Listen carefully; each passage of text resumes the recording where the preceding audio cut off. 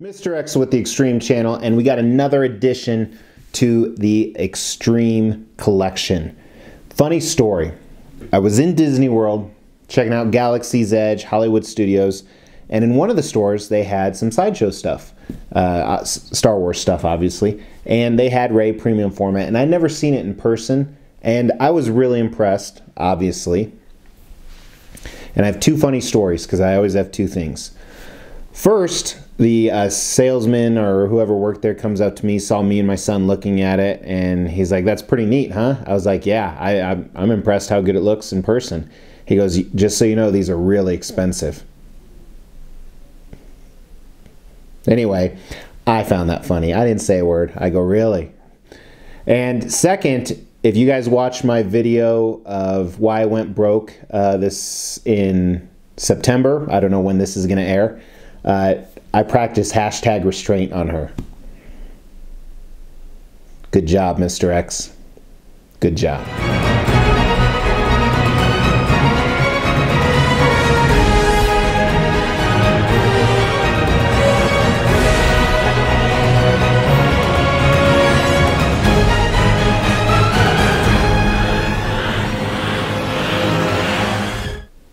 Mr. X with the Xtreme channel here with Sideshow Rey Premium Format.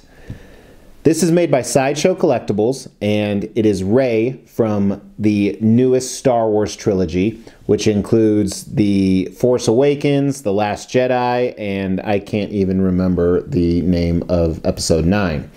This is Star Wars Episode 15 for this channel, meaning it is the 15th Star Wars piece we have reviewed.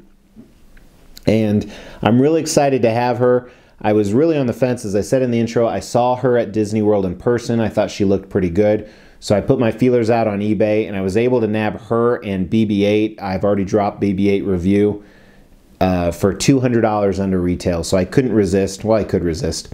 I am a little worried that Sideshow is going to come out with an even better one since the episode 9 is coming out. But I guess I took that risk. And if they do, this will really drop in value. But I purchased her to continue to add to the Extreme Star Wars collection. I told myself a long time ago, other than Vader, because he's a great villain, I'm not going to go down the Star Wars path. Well, hashtag restraint did not work in that situation. Went ahead and purchased her. Now, Sideshow Collectibles, as I said, this is their premium format. That means she's one fourth the size of what she'd be in real life. So let's actually do some measurements. Depending on how you place her uh, bow on the back here, she's about 20 inches tall. Again, check Sideshow for exact measurements. And width, width and depth is kind of hard because you, it, I don't know how you're going to position her. Technically, if you want her facing forward, the width is about 9 inches and the depth is about 10, but you can kind of display her at multiple different angles. She retailed at $480. This is one of Sideshow's last pieces because Sideshow has lost the Star Wars license. And I, I, shouldn't use the word lost. They no longer have it. So maybe they didn't pay for it. Maybe they did something wrong and got their hands slapped, which is kind of disappointing because Sideshow has done some decent Star Wars pieces. Retailed at $480 and they made 1,750 of these. Of those, 500 were the exclusive edition. With Sideshow, an exclusive edition generally means a little extra Easter egg.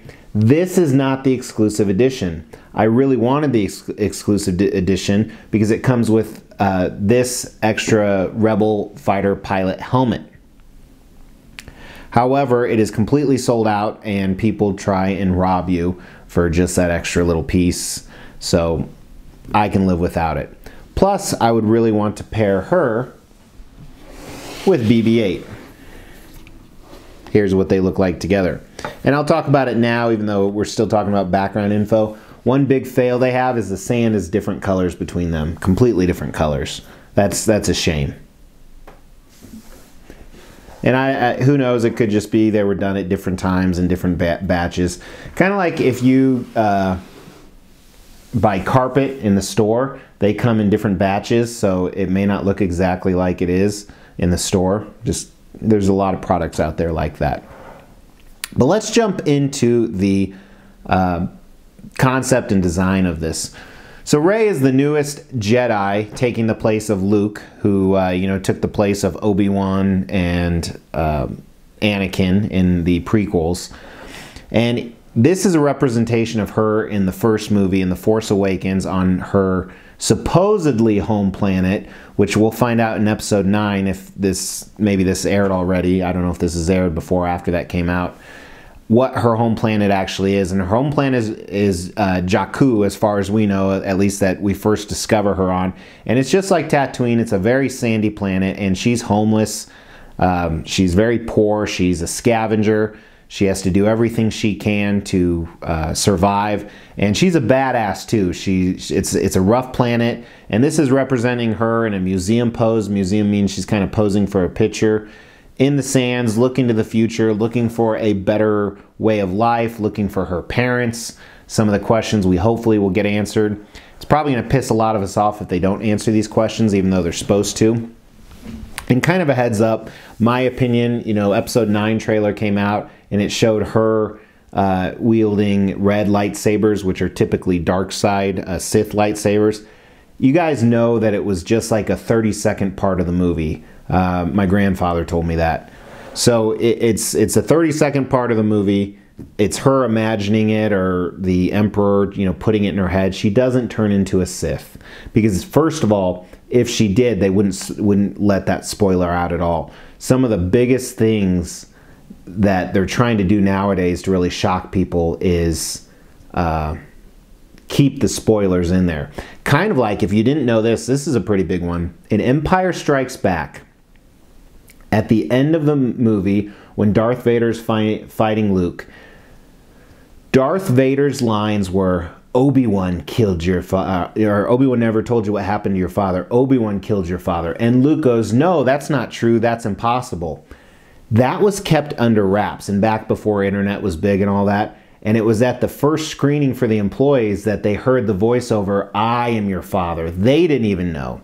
So anyway, they keep stuff secret, like kind of like Avengers uh, Infinity War. I was able to keep that on the hush for four or five days. I didn't know Thanos won in that movie. If you haven't seen it, Thanos wins. But anyway, back to the design. Design is really good. I'm not a fan of mixed media, but everything works pretty well. Uh, her mixed media uh, covers up her uh, head seam.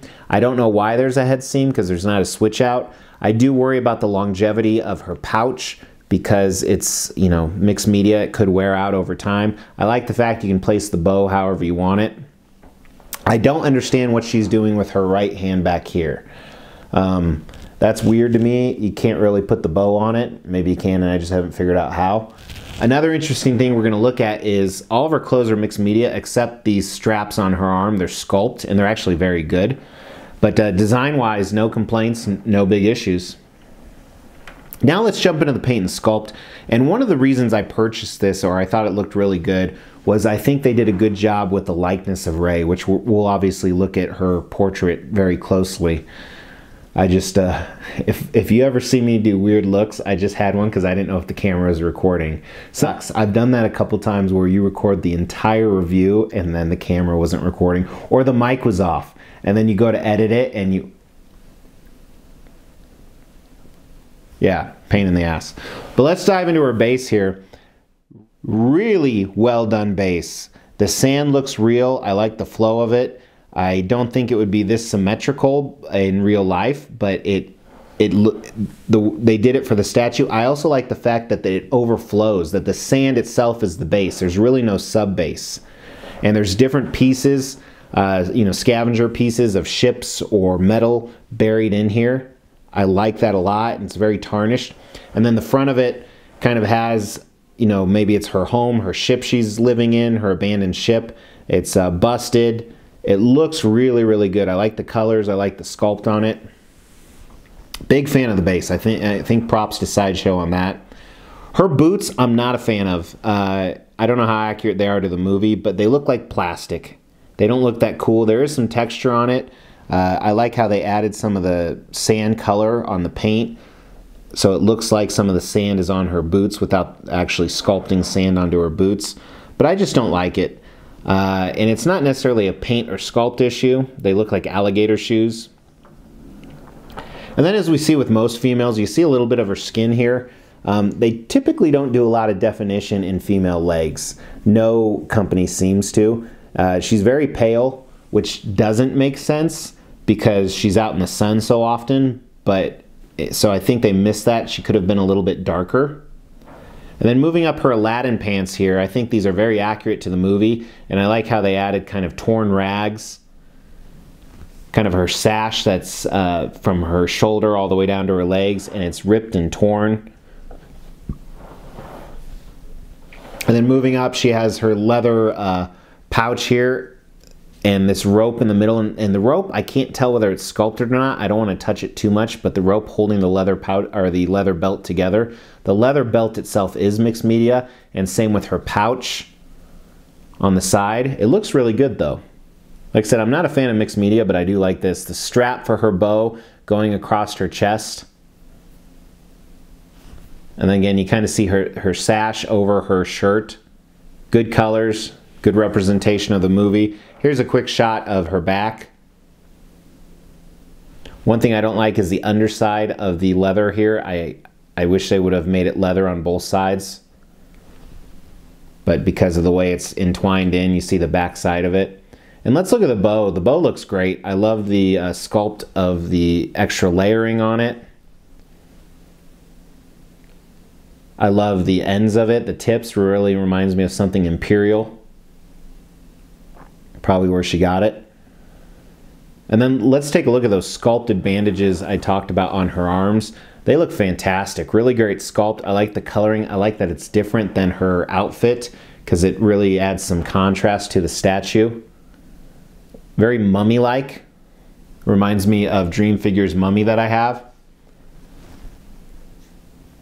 And then on her wrist, she has kind of this sculpted uh, wristlet with uh, mixed media leather wrapping around it. And I, will have to, at least her left wrist, I'll have to look at the movie to see how accurate that is. And that's only on her left uh, wrist. Then good sculpt on her fingers. I think her fingernails are a little too clean. I don't think she bathed regularly, and I think she had some dirt in in uh, uh, kind of on her skin and face in the movie. But here you see her portrait; she has no dirt on it, and I understand why they did that, even though it's not conceptually accurate. But I think they did a fantastic job on the likeness of her portrait here, and I like the expression because it's very vague. So it really ties into the statue. She's, like I said, maybe she's looking into the future you know, if they make her too happy, too mad, too angry, too scared, it may not tie into what you want to believe with the statue. But uh, eyebrows uh, are painted on, they're not sculpted, but they look sculpted, so I like how they did that. Her eyes, they did a fantastic job. They look real, kind of this glistening effect. Lips pursed together, and her skin color, I think, it it's a little darker in the movie, but it doesn't look bad here. I think they could have done a better job with her hair. Uh, it's not sculpted deep enough. I think they should have sculpted it deeper to add more strands to it. And I don't like where it meets up on the face. It's a little too clean around her forehead here. But it doesn't take away too much from the statue. Her classic hairstyle in the back kind of the new Princess Leia. Remember the ear things? Now it's three on the back, I guess. I don't know. I don't braid women's hair, at least not often. But uh, yeah, I like it. I think it's a great piece, especially the fact the retail's 480 and you can get it for less than that. I I will be shocked as hell if they don't do another Rey piece with you know because in theory she doesn't even have a lightsaber in this one, so yeah. Hopefully the new one's not better uh, because that will increase the value of this piece. But I would like to have a Rey with a lightsaber piece. I also, I think I talked about this in the BB-8 review. I really want a good Luke Skywalker. I'm not a fan of any of the Luke Skywalkers that have come out. And unfortunately, because Sideshow has lost their Star Wars license or they no longer have it, uh, really, it's Iron Studios or XM Studios. I was talking to uh, PJ, Paradox Nerd. Go check out that channel. Uh, he's a huge Star Wars collector, both uh, quarter scale and, in hot toys, and he has excellent content. Plus, he's fun to go camping with. So, I'm going to stop saying so. So, thank you for watching. See what I did there? Uh, give me a thumbs up Uh, if this is your first time watching, definitely hit that subscribe and bell. I drop lots and lots of statue reviews and extreme content. We're kind of branching out, but we're always going to stick close to the collecting and statue stuff. So, so, so, so, so, so, so, so, so, so, so, so, so, take care.